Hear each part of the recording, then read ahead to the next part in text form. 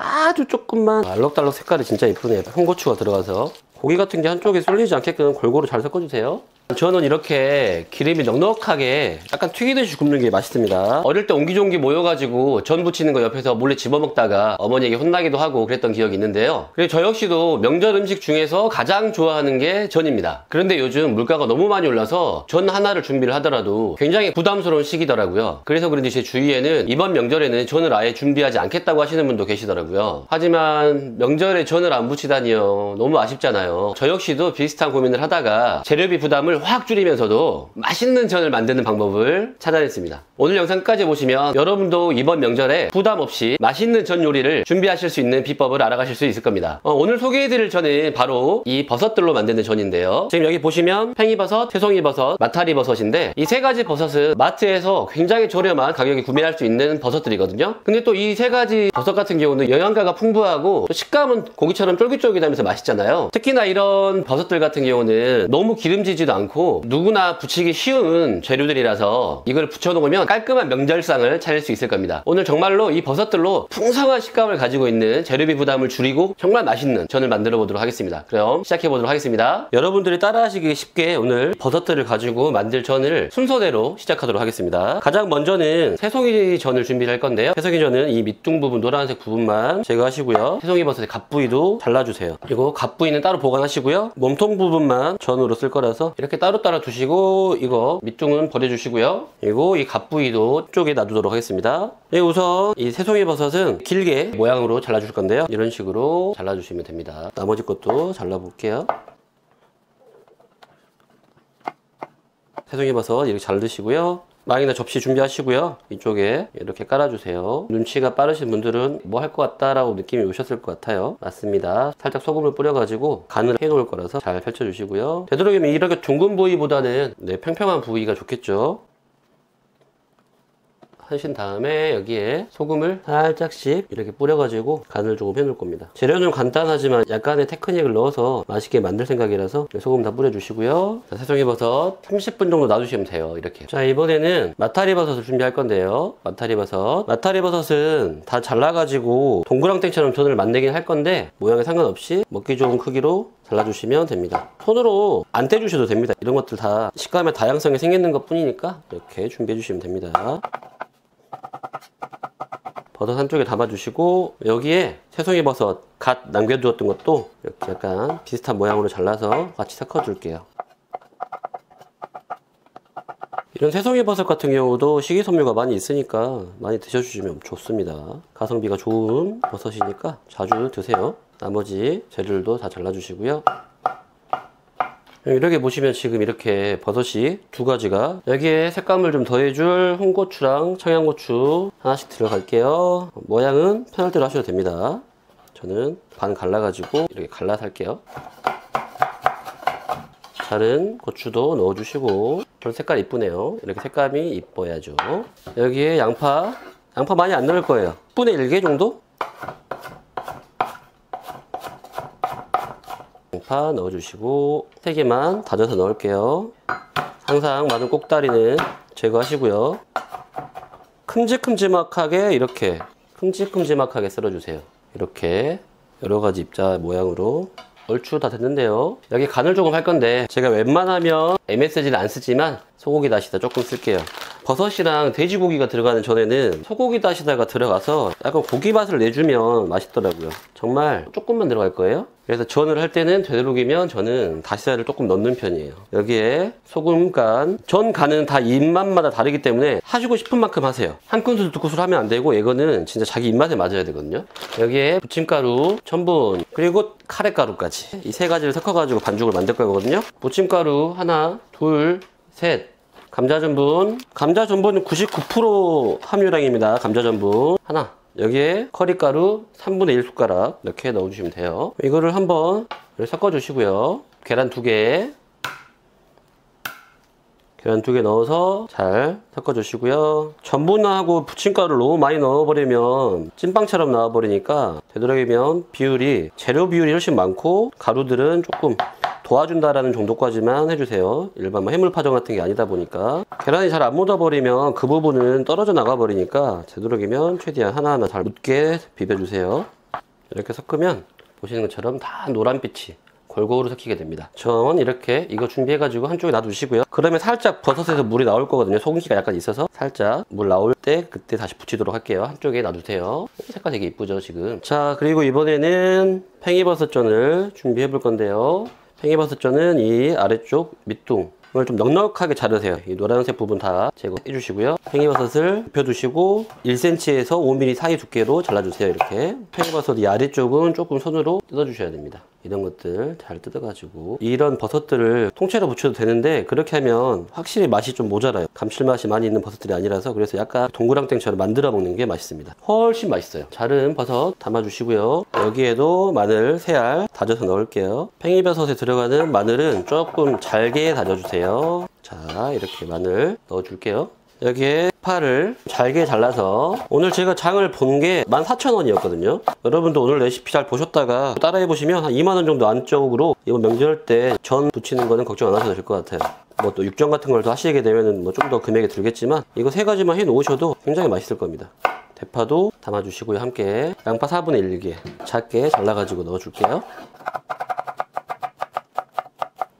자 이렇게 잘라서 넣어주시고요. 이거 돼지고기 잡채용 고기 썰어져 있는 건데요. 이거를 100g만 넣겠습니다. 잘게 잘라가지고 이 부위는 돼지 뒷다리 부위입니다. 가성비 좋은 부위들을 모아서 맛있게도 먹을 수 있으니까 오늘 레시피 정말 좋으실 거예요.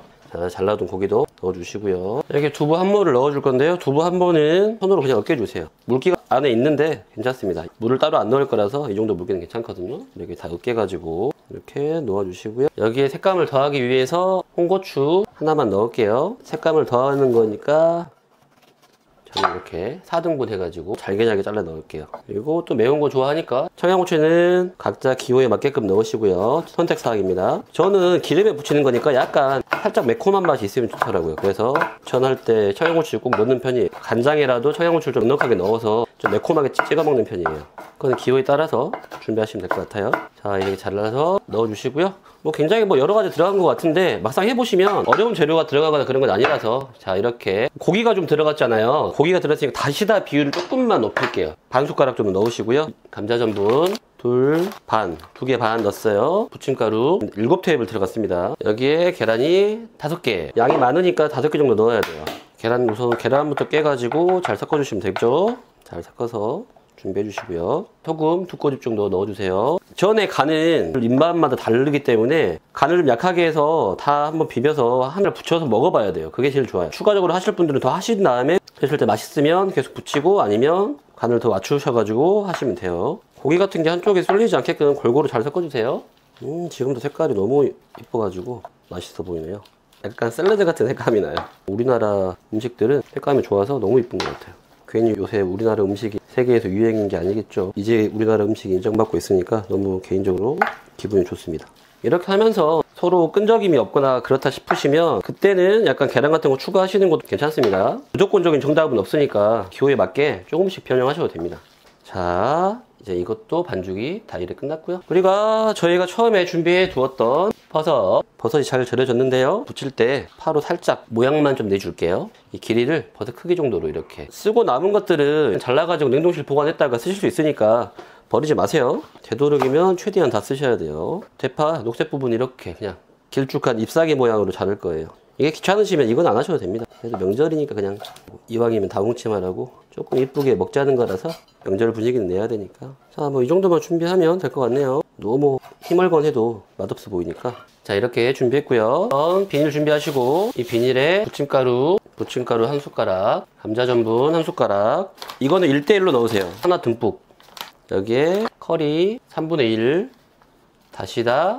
한 꼬집이에요. 한 꼬집 믹스를 해주시고 이렇게 명절 음식 준비하실 때 팁을 하나 드리자면 썼으면 바로 그 자리에서 이렇게 묶어서 정리를 요리 끝내놓고 한 번 해야지 하면 진짜 큰일 되거든요. 꼭 되도록이면 바로바로 정리 다 해가지고 하시는 게 좋아요. 이게 명절 스트레스를 줄일 수 있는 일입니다. 비닐에 버섯 넣으시고요. 위에 묶어주시고 골고루 잘 묻을 수 있게끔 해주세요. 이러면 버섯이 굉장히 골고루 묻었거든요 지금. 조그마한 볼 하나 준비하시고요. 계란 두 개 깨주시고 이 계란에다가 간장을 아주 조금만 어, 색깔이 많이 변하지 않게끔 좀 보시면 조금만 넣었어요. 준비해 주시고요 잘 섞어주시고 잘 섞어주시고요 자 정도 잘 섞어졌으면 버섯을 넣어가지고 계란물을 이렇게 잘 입혀가지고 음, 팬이 달궈졌으면 기름을 좀 넉넉하게 두르시고 팬 달궈진 다음에 두르세요. 약간 튀기듯이 할 거라서 넉넉하게 두르신 다음에 이렇게 올리시고 여기에 뭐 잎사귀처럼 놓으셔도 되고 그냥 편하게 하세요. 이렇게 잎사귀처럼 놓으실 분들은 잎사귀처럼 놓으셔도 되고 한껏 각자의 예술 혼을 불태워 보세요. 이럴 때 이렇게 해보지 언제 하겠어요? 청소에는 귀찮아 사지도 않죠 이렇게는 맞죠? 네, 이럴 때 조금 품이 들더라도 이런 날 그냥 기념삼아 재미삼아 한다 생각하시면 즐겁잖아요. 불 너무 세게 하면 타기만 하니까 불 너무 세게 하지 마세요. 전 부칠 때 대파를 동그랗게 잘라가지고 올리실 분들은 그렇게 올리셔도 됩니다. 그냥 취향껏 하세요. 음 색깔 이쁘네요. 엄청 고소한 냄새가 올라오고 있어요. 고소한 그 계란 부치는 냄새. 벌써 군침이 돕니다. 저 전을 정말로 좋아해요. 정말로. 너무 좋아해서 저는 전한테 진심이에요. 같이 일하던 직원들이 전 좀 그만 좀 먹자고 막할 정도로 너무 좋아했거든요. 꼭 맛있게 먹어놓고 저한테 뭐라고 하더라고요. 반대쪽도 충분히 갈색빛으로 익혀주시고요.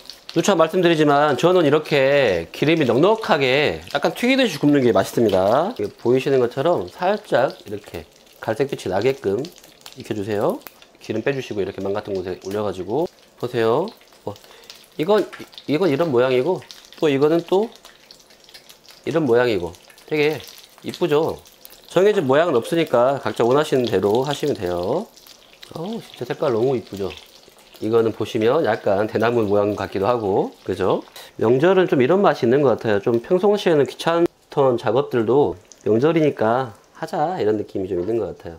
그래, 명절인데 좀 하지 뭐. 같이 하면 재밌기도 하고요. 물론 저는 지금 혼자 하고 있지만, 가족분들에게 혹시 있으시면 명절날에는 꼭 도와달라고 하세요. 그냥 혼자 다 일하지 마시고 같이 해야 재밌지 이런 거 혼자 하면 재미없어요. 혼자 하면 노동이잖아요. 그거는 같이 해서 같이 맛있게 먹고. 저도 어머니 도와드리면서 이거 준비했던 기억이 새록새록 나네요. 부모님을 안 뵌 지가 한 몇 년 된 것 같은데 이런 요리 할 때 한 번씩 생각이 나는 것 같아요. 가끔씩 어머니가 해주셨던 음식들을 하다 보면 부모님이 좀 많이 생각이 나는 것 같아요. 평상시에는 많이 생각 안 나거든요. 그럴 때 어머니랑 아버지가 좀 생각이 나는 것 같습니다. 그리고 하시다 보면은 이렇게 계란물 남잖아요. 이런 거는 버리지 마시고 아까 준비해뒀던 다른 전에다가 좀 섞어가지고 쓰셔도 됩니다. 버리지 마세요. 특히 저는 지금 오일 자체도 지금 extra virgin 올리브 오일이거든요. 되도록이면 이렇게 좋은 오일을 사용해가지고 조리를 하시는 게 좋아요. 식용유나 뭐 카놀라유 생각보다 그런 것들은 좋은 기름이 아니라서 되도록이면 이런 거 하실 때도 좋은 extra virgin 올리브 오일을 사용하시는 게 좋아요. 자, 우선 새송이 버섯은 완성이 됐고요. 기름을 좀 더 추가하시고요. 이번에는 준비해두었던 맛타리 새송이 버섯 가시랑 섞어놓은 거죠. 이거 부쳐볼게요. 한 숟가락 이렇게 떠가지고 이렇게 깨지지 않게 살살 붙여주세요. 너무 두꺼우면 또 안 익으니까 물을 안 넣었기 때문에 좀 깨질 수 있으니까 너무 퍼트리지는 마시고. 음 색깔이 예쁘네요. 아, 알록달록 색깔이 진짜 예쁘네요. 홍고추가 들어가서. 이런 마타레 버섯 같은 경우는 가성비도 되게 좋지만 우리 몸에도 되게 좋은 게 면역력도 강화해주고 항암 효과로도 굉장히 유명하거든요. 특히나 베타글루칸 성분이 풍부해가지고 체내에 해로운 바이러스나 세균을 억제하는 도움을 주고 칼로리도 낮으니까 다이어트 하시는 분들에게도 좋아요. 다이어트 하는데도 좋은데 여기다가 식용유 넣고 구워버리면 아 이거는 그때부터는 다른 게임이 됩니다. 꼭 좋은 올리브오일 쓰세요. 차라리 들기름을 쓰시던가요. 아 맛있는 냄새. 약간 노릇노릇하게 튀기듯이 저는 노릇노릇하게 튀기듯이 하는 게 맛있습니다. 어, 누르지 마시고요. 이거 전 같은 거 하실 때 이렇게 보시면 겉모습이 이렇게 약간 노릇 약간 이렇게 노릇노릇하게 튀기듯이 익혀주시는 게 맛있어요. 전이 약간 고소한 향을 내면서 맛있어집니다. 보시면 지금 예, 엄청 갈색빛이죠. 다 익은 전들은 건져주시고요. 이렇게 아마 이 전은 뭘 찍어 드시지 않아도 간이 딱 맞을 거예요. 밥하고 드셔도 좋고. 야 이게 색깔이 진짜 너무 너무 잘 나왔네, 그죠? 엄청 바삭바삭한 떨어진 것들 이렇게 분리된 것들을 굽는 자만의 특권이죠. 이렇게 떨어진 것들을 먹을 수 있는 건 한번 먹어볼게요. 아, 음, 와 맛있어요. 너무 맛있어요. 바로 구워서 먹어서 그런지 너무 맛있어요. 음, 맛있어. 음, 진짜 맛있다. 아, 진짜 앞에 있는 누구한테 해주고 있는 상황이면은 자랑하고 싶은 맛인데 지금 앞에 아무도 없네요.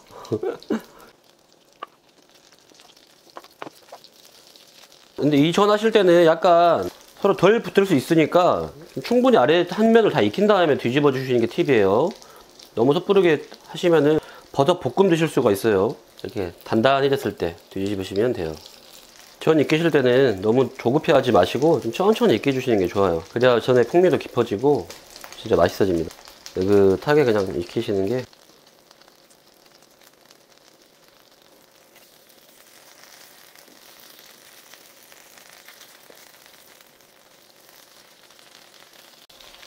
맛있겠죠? 색깔이 정말 노릇노릇하게 이쁘게 나오고 있어요. 마탈이랑 새송이 버섯 전까지 지금 됐고요 이제. 살짝 열이 올라왔으면 하나씩. 기름 튀지 않게 조심하시면서 항상 하세요. 이런 노타가 기름 튈 수 있으니까 조심하시고요. 이전에는 돼지고기까지 좀 들어가서 맛이 좀 풍부하죠 아우 조, 조금 전에 저 촬영하다가 후라이팬이 떨어져가지고 깜짝 놀랐네요 어우 큰일, 날, 큰일 날 뻔했어요. 얼마나 맛있는 요리가 나오려고 이렇게 해프닝을 주는지 모르겠네요. 실수할 수도 있고 그런 거죠. 음, 명절 느낌 나네요 진짜. 요즘 물가가 너무 많이 올랐죠. 음, 저도 정말 그게 참 걱정 제가 유튜브 영상을 통해서 여러분께 요리를 알려드리는 입장이다 보니까 약간의 책임감도 느끼게 되더라고요. 그래서 대형마트도 가보고 어, 전통시장도 갔다가 뭐 인터넷도 찾아보면서 재료 가격들을 계속 비교해 가면서 부담스럽지 않는 가격들을 가지고 있는 재료 찾아가지고 해드리려고 노력하고 있으니까 기대해 주시고요. 오늘도 정말 이렇게 2만원도 안 되는 재료를 가지고 세 가지 전을 한 번에 만드는 방법들 이런 것들로 저만의 노하우로 많이 알려드릴게요. 기대해 주세요. 근데 맛도 좋고 영양도 좋고 또 나쁜 건 최대한 더 적게 들어가려고 만들려고 하다 보니까 생각보다 시간이 좀 걸리긴 해요. 레시피 작업할 때. 얘도 기대 많이 해주세요. 많이 사랑해 주시고 여러분들이 너무 많은 사랑을 주셔서 항상 감사합니다 만드시다가 잘 모르시겠으면 영상 아래쪽에 댓글에 달아주시면 제가 친절하게 답변해 드리도록 하겠습니다. 항상 감사합니다. 자주 앞뒤로 뒤집어 버리시면 이거 다 깨져 버릴 수 있으니까 약불에 천천히 익혀 가지고 전을 보면 살짝 갈색빛이 올라올 때가 있거든요. 그때 뒤집으시면 돼요. 뒤집으실 때도 이렇게 평평한 뒤집개 같은 거 스패출라 가지고 뒤집으시는 게 좋죠. 평평한 걸로 뒤집어 주시면 잘 뒤집어져요 이런 것들까지 왜 알려주나 라고 하실 텐데 제 채널 댓글 다시는 분들 보면은 정말 요리를 하나도 못 하시는 분들도. 그분들도 이 채널의 구독자이기 때문에 요리를 좀 잘하시는 분들은 아 그분들도 이걸 같이 보고 있구나 하고 좀 이해해 주세요. 그리고 아직 요리를 못 벗어나시는 분들은 잘 보고 연습 많이 하시고요. 음, 색깔이 이뻐요 지금. 그죠? 얘 같은 경우는 정말 갈색빛 잘 나왔고요. 이렇게 좀 요리할 때 좀 잘 나오면 기분이 좋은 것 같아요. 음, 너무 좋다 너무 한번 먹어볼게요. 음, 아 정말 너무 맛있어요. 이건 정말 찐이다 찐 야 이거 뭐 고기, 팽이버섯 이런 여, 정말 여러 가지가 들어간 전이잖아요. 그래서 정말 맛있고요. 정말 담백하고 식감이 너무 좋고 중요한 거 제일 중요한 거는 하나도 안 짜요. 간이 안 짜서 너무 좋아요. 이거 혹시 너무 간 세게 드시는 분들은 원래 레시피보다 소금 두 꼬집 정도 더 넣어가지고 만드시면 될 것 같아요. 근데 저는 지금이 딱 좋은 것 같거든요. 야, 이것도 해 드시고 행복하게 해 드실 생각 하시니까 제가 기분이 너무 좋네요, 오늘도. 레시피를 짜는 보람이 있어요, 이럴 때. 네, 여러분, 오늘은 명절을 맞이해서 가성비 좋은 버섯 세 가지, 마타리 버섯, 팽이버섯 그리고 새송이 버섯까지 세 가지를 가지고 오늘 만들어 봤는데 어떠셨나요? 각 버섯의 특징을 살려가지고 간단하지만 영양가 높은 전을 완성했습니다. 이 마타리 버섯 같은 경우는 감칠맛이 뛰어나고 요리에 깊은 맛을 더해주거든요. 그리고 이 팽이 버섯은 아시다시피 아삭아삭한 식감을 가지고 있고요. 그리고 이 새송이 버섯 같은 경우는 굉장히 풍부한 식이섬유를 가지고 있어서 장 건강에도 되게 좋고 쫄깃한 식감으로 정말 최고인 버섯인 거죠. 오늘 만든 전은 명절이나 특별한 날뿐만 아니라 평소 반찬으로도 정말 좋을 겁니다. 딱히 반찬을 해 드실 게 없으시면 마트에 가셔가지고 가성비 좋은 버섯이랑 간단한 야채만 구매해 오셔가지고요. 가족들과 함께 아니면 친한 사람들과 함께 맛있고 건강한 요리를 즐겨보셨으면 합니다. 특히 손님을 초대하는 자리나 간단한 파티에서 이전을 내놓게 되면 굉장히 큰 호응을 얻으실 수 있을 겁니다. 어, 오늘 명절을 맞이해서 이렇게 좋은 레시피로 여러분들을 찾아뵀는데요. 오늘 이 레시피가 여러분들에게 도움이 되셨다면 구독과 좋아요 그리고 알림 설정까지 부탁드리겠습니다. 여러분들이 구독과 좋아요 알림 설정을 눌러주시면 이 좋은 레시피가 정말 많은 분들에게 소개가 될 수 있는 기회가 제공됩니다. 다음 영상에서는 더 맛있고 더 특별한 요리로 찾아뵙겠습니다. 항상 여러분들의 건강한 식탁을 응원하겠습니다. 이번 명절도 즐겁고 행복한 시간 되시길 바라겠습니다. 끝까지 시청해 주셔서 정말 감사하고요 여기까지 로빈이었습니다. 항상 감사합니다. 그리고 행복하세요.